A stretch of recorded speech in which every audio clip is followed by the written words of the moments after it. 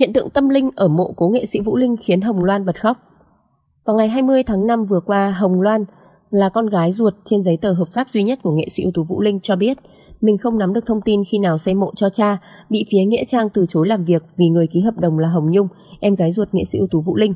Mới đây sau nhiều ngày cố gắng liên lạc với Nghĩa Trang, Hồng Loan vui mừng thông báo đã được quyền xây mộ cho cha. Sau khi sắp xếp ngày cụ thể, gia đình cố nghệ sĩ Vũ Linh có mặt tại Nghĩa Trang Bình Dương. Hồng Loan tới sớm để bày đồ cúng. Tại đây, em gái Hồng Nhung và cháu gái Hồng Phượng của Vũ Linh cũng có mặt.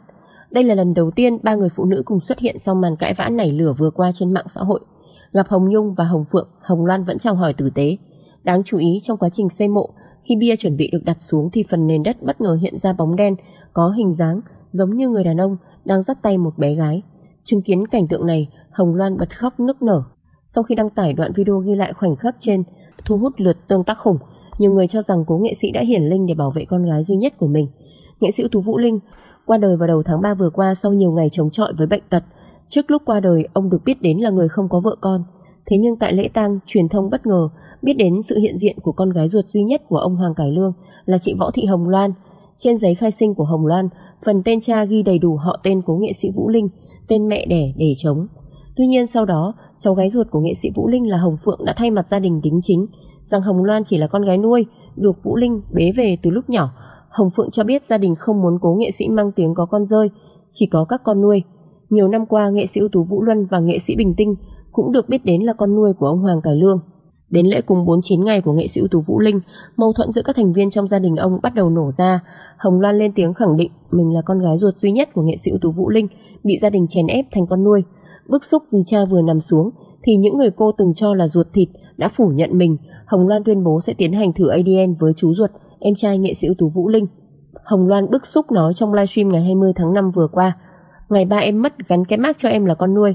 Bây giờ muốn biết em là con nuôi hay con ruột, mời chú Bảy đi xét nghiệm ADN với em. Em sẵn sàng làm chuyện đó. Từ ngày ba em mất, tất cả những người trong nhà đã lợi dụng danh tiếng của ba em để quyên góp hết cái này đến cái kia. Em chẳng hề biết cái gì. Phía gia đình cố nghệ sĩ ưu tú Vũ Linh tỏ rõ thái độ không ủng hộ quyết định xét nghiệm ADN của Hồng Loan.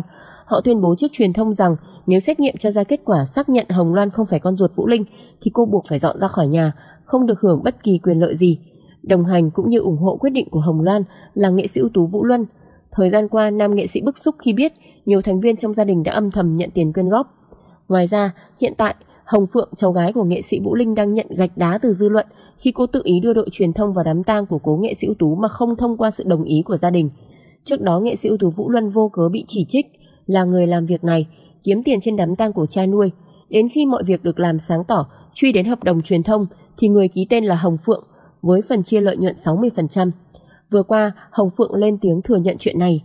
Cô giải bày rằng việc mình muốn là lưu giữ hình ảnh cuối cùng của cố nghệ sĩ Vũ Linh, hợp đồng truyền thông là để quản lý, không để hình ảnh của nam nghệ sĩ bị bóp méo sau khi qua đời. Theo Hồng Phượng, doanh thu có được sẽ được đưa vào tài khoản riêng để gia đình chuẩn bị cho các dịp cúng bái sắp tới của Vũ Linh.